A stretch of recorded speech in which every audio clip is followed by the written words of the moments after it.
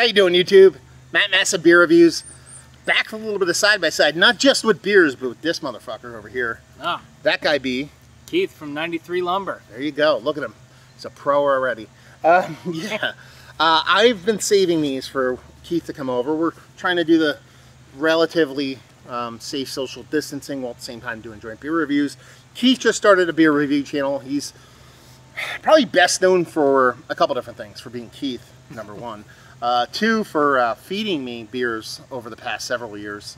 More importantly, kind of the guy who started mystery beers. Even though I'm the one who told you to do it. Yeah, Yeah, you're kind of the guy who started them. kind of. Yeah. Uh, so go check his channel out, 93 Lumber. I'll link it down below. Um, and uh, these come courtesy of my boy Max. He sent off a bunch of different beers, but these are two that, uh, one, if these beers suck, then I'm just going to get angry and break shit. Um, and two, I know Yeah. Keith would probably like, that be OEC, is their Coolship Lager. It's their blonde versus their black. Seem like a little bit of perfect, you know. Keith is very much, I should flip these. He's dark, I'm light. Um, we'll see what's what. So we're talking about a Coolship Lager, open fermented, 5.2% blonde over here from OEC Brewing. For those that don't know about OEC, what are they, what is it actually called? Um, or Ordinem Ecentrici Coctores LLC. That's what OEC stands for because I know what that says.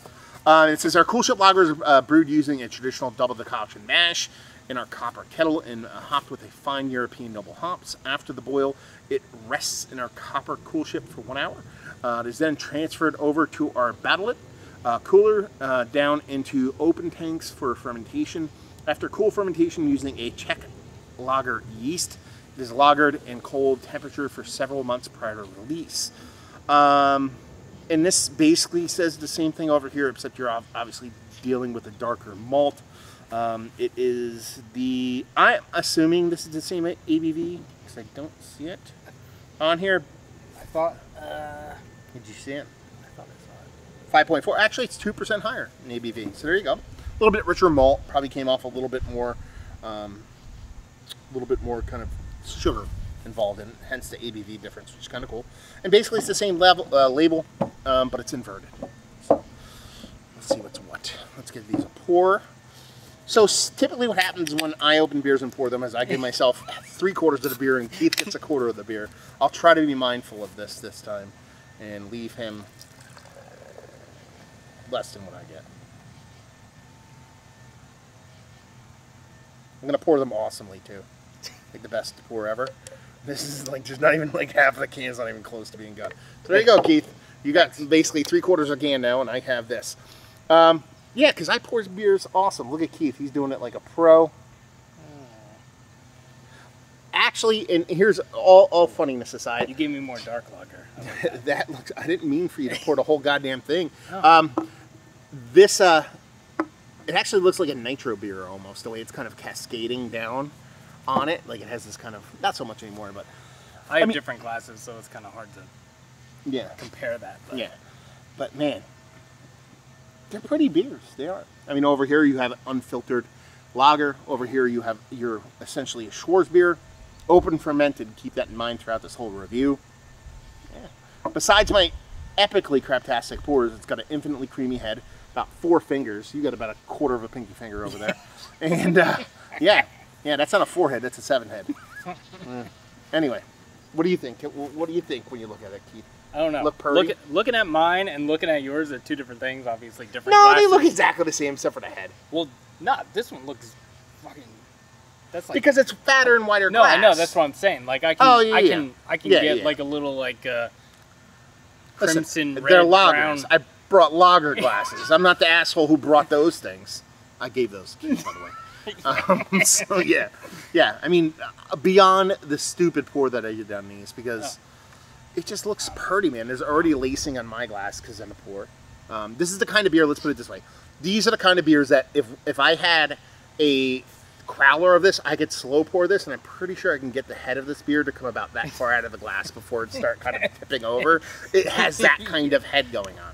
Yeah. Yeah. So Well, I don't. anyway, so you can get a nose on this. Mm. That sucks, huh? Lager. But it has that little chutzpah of tartness. a little bit of open fermentation tartness. Now, for those keeping score at home, open fermentation, a lot of people when they see and hear open fermentation, they automatically gravitate towards sour or gravitate towards super tart. Well, that is can be the case. A lot of old school lagers, a lot of old school beers were open fermented because they just that's how they did things. You know, all of your Samuel Smith beers are essentially open fermented, and a lot of those aren't even close to being sour. So you can do a beer that is open fermented that's not sour that just has a little bit more going for it. That's the case here. It's this cold fermentation, open. Because when you talk about uh, open fermentation, you want to get this wild funkiness. You're looking at a specific degree you want to be in as far as temperature goes. This is probably a bit more controlled and not nearly as wild. They're not letting the outside um, uh, uh, uh, inoculate it. They're probably just letting it just kind of cold ferment in a coolship. I said in one of my videos that I have a hard time talking about beers that I like because I just want to drink them. I don't, I don't, I don't, I don't want to talk. I just, I just want to drink. And that's, that's did you, what, did you smell this one yet? No. Yeah. That's what, that's what this one smells like. Yeah. Uh, uh, what? What did you There's say? a there's a malt thing. There's the slight uh, tart thing from probably the the open the open fermentation cool shit. it smells like something specific. But I can't put my finger on. But it it's it, it smells awesome. That that is awesome, and I want to chug it, but we'll uh, Soft, we'll- mal- uh, yeah, a nice uh, sweet maltiness in here. It's not like uh, it's not going to be wanting for um, uh, uh, like it's not going to be bone dry. I don't think. Um, there's a decent soft sweetness to it. That tartness is the, it's like on a scale of one to ten of tartness. It's like 0.3. It's not even three. It's 0.3. So there's a, a that subtle Yeah. kind of tartness to it. And it just has this kind of and I know it's kind of an oxymoron when you say a tartness and cleanliness, but it has a kind of clean lager that you expect, but with that added chutzpah, again, we'll throw that out there, of um, of a soft little kind of extra, extra. It's not necessarily like wild ale. It's not necessarily like uh, mixed culture beer. So yeah, let's dive into the malty portion of the show. Oops. This is Awesome. it's fine. He's fucking. See, this is why it sucks. No, this is exactly No, what I want this- Schwarzbier yeah. to be. Yeah, but this is this is like this is like epitome epitome is that the right word Schwarzbier, but it has that like cool shit little bit of tartness. Yeah, I mean the tartness is probably similar to this one over here, but the the roasted malts over here Yeah. are big enough to where it kind of dumbs that down a little bit to where it doesn't It's come a- off nearly as uh, as as easily apparent. yeah, it doesn't really. Actually, actually, I should probably restate. It doesn't come off as a tartness. It comes off as, for me. I don't. I don't know. I don't know how to describe it. It's weird. It's. It comes So the tartness the tartness for me comes off as you ever eat one of those like Luden's lemon cough drops? Like the, they're not even cough drops; they're just fucking candy. But kids would. They come in a white box and they rattle them around and they stick together and they cut the fuck out of your mouth. Um, if you ever eat one of the lemon ones, it doesn't taste like that because that's like super lemony. It's what that tastes like after you're done eating it, like five minutes later.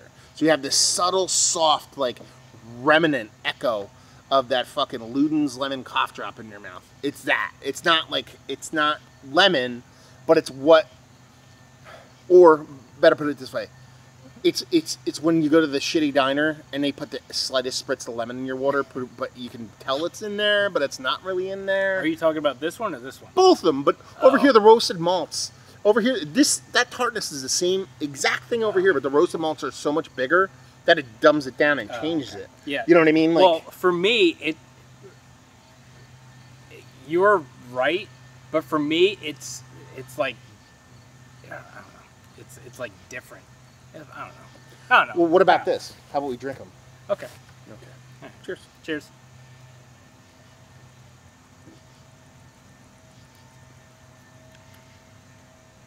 Wow, that's way more kind of like spicy, peppery. Like it's got this kind of that's more coriander to me. That's more like Mm. there's like this cool peppery thing going on with it. Is that coriander? It's just a. No, I don't think so. I think that's all from a yeast. Hmm. It's Yeah. super cool. It's almost like. Let me rephrase that. I think I might be wrong. I, is this? Are there fermenters wood? No, it says copper. I was gonna say because that could be like a wood tannin because there's a dryness to it, and it's like a coriander, subtle, spicy, peppery thing, like a white pepper coriander mix with this infinite dryness to it. And I thought maybe okay, maybe this is like in like a foeder or something like Yeah, that. Yeah, but it says it's cellared. Yeah. No, do, it's do you think they cellar it? Well, it's cellared in, in, in uh, copper fermenters. Uh, this is the no. It's the it, what Oh, it is is. is what it's the double decoction is what makes it as rich and as creamy as, as that. That's why it's that's what it is. It's the double decoction of the beer um, that just makes it infinitely soft and creamy. This is this is horrible beer. This it, you should dispose of it. Yeah. Uh, Just send can- an email massivebeers@gmail.com. yeah, or 93lumber at Gmail. That's yeah. spelled out. Why that was available when you went to go get that email address? It was still available. Yeah. Who would have thunk it? Um, you know, you can just go get the number one, two, and then just forward that one to the other one, so you don't have to do that. You just that way you don't have to say that. You just be listening to 93 Lumber, and any way they do it, you'll just get it anyway. Oh, oh yeah. Well, that's what it is. that's what it is. Yeah. yeah. Just you just No, what I'm saying is just go go get the other one before it's gone, before you blow up. Become this big YouTube. You know what I mean? It'll be like you. And, Oh, oh, right. Yeah, get it now before people go in, in uh, what do they call it? Domain sit on you. They'll charge you nine million dollars for the email. That's true. yeah. So, you get a crisp, clean kind of lager awesomeness with Yeah. this, and I know again oxymoron. You have the flip side of it, where it has this creaminess, that richness, that pepperiness, that softness that I Yeah. attributed to wood and all that stuff Wow. from the decoction. That's yeah. This this taste. It's giving me the um, we drank that Clara. It's giving me those oak vibes. Well, that's the thing. Yeah, It- it's giving me like an oak Yeah. aged lager. Yeah. It's that foeder, that oak foederness is what I'm getting in this without having that Man. be there. And I, I'm just assuming it's the decoction that's really bringing that. Yeah, this is awesome. Yeah, I'm diving into, into the schwarz. All right. Cheers. Cheers.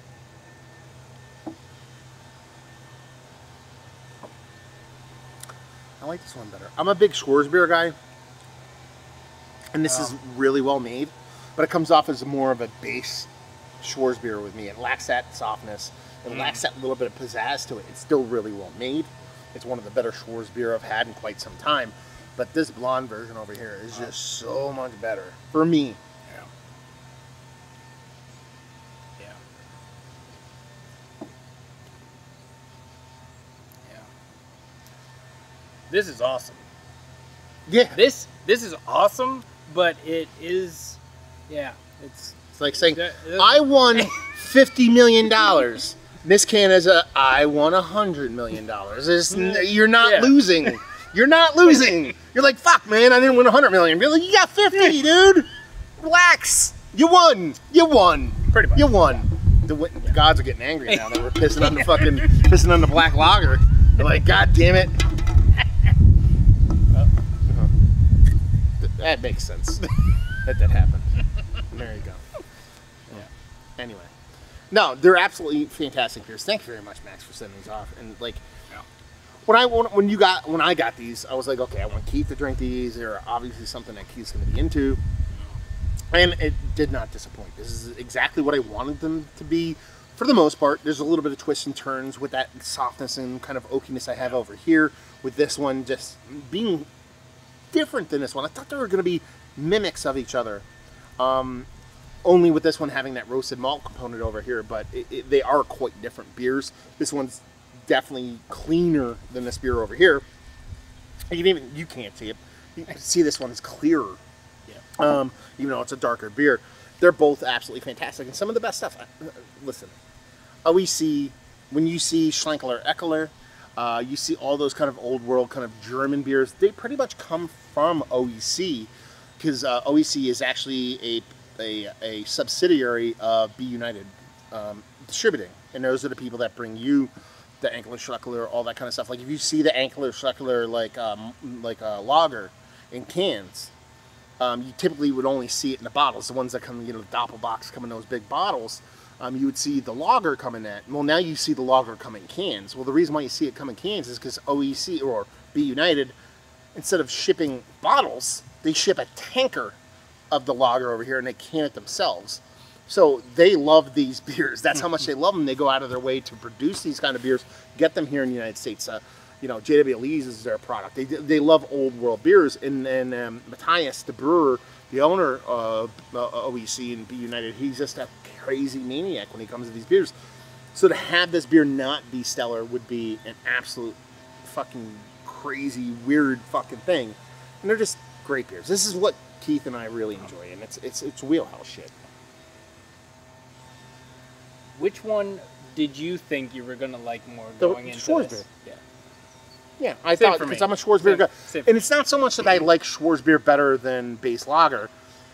It's kind of like Eddie Murphy had that joke in Raw, to where he's like, you know what I mean? He's like, you know, it, it, it was a joke about, uh, you know, sex, but he related to, um, you know, uh, you know, if you haven't had sex in a while, he's like, any sex is good sex. Um, but if you have sex with the same person for a while, then it becomes boring. And he related it to a cracker. He's like, you know, you eat a fucking Ritz, and he's like, Ritz is fucking basic, but you know, you're on a desert island for fucking five years. You have a fucking Ritz. You're like, this is the best fucking cracker I ever had in my life. I have lager constantly. I have Schwarzbier several times a year, not that often. So when I go into a Schwarzbier, it's just it's that difference, that variance that turns me on. Not necessarily that's a better beer. I just expected it to be better because I don't have it as often. That's why this is so much better. Is because I have this beer all the time, and this is better than all the ones that I have all the time. So that's why this one is that good. Again, Yeah. winner, winner. But this is just winning a bit better. You know what I mean? It's a very stiff competition, and that's fucking fantastic. Yeah. These are awesome. Yeah. Thanks for sharing these with me. You got it, brother.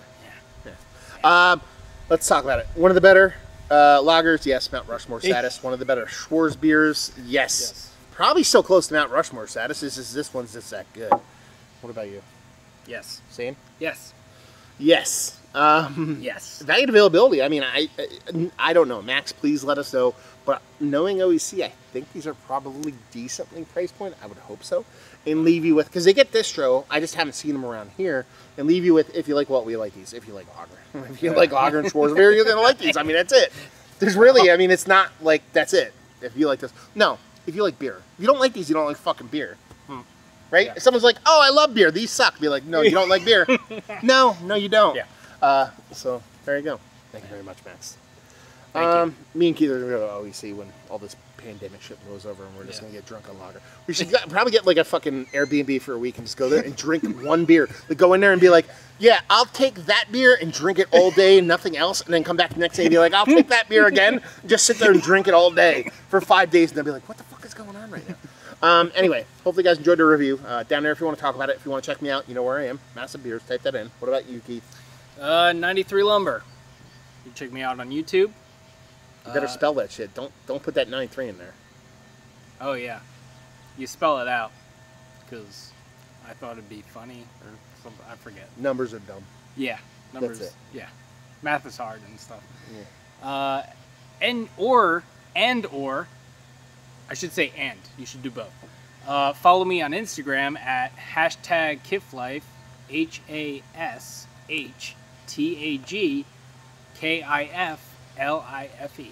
It's spelled out. October 10th today is. We'll see how long he waits until he makes an Instagram Yeah. uh, for this. Yeah.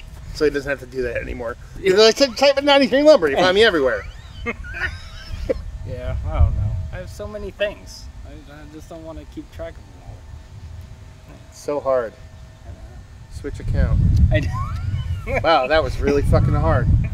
Um, so hopefully you guys enjoyed our review. Hopefully you're enjoying some good lager Yeah. right now. We'll see you next time. Yeah. Cheers. Cheers.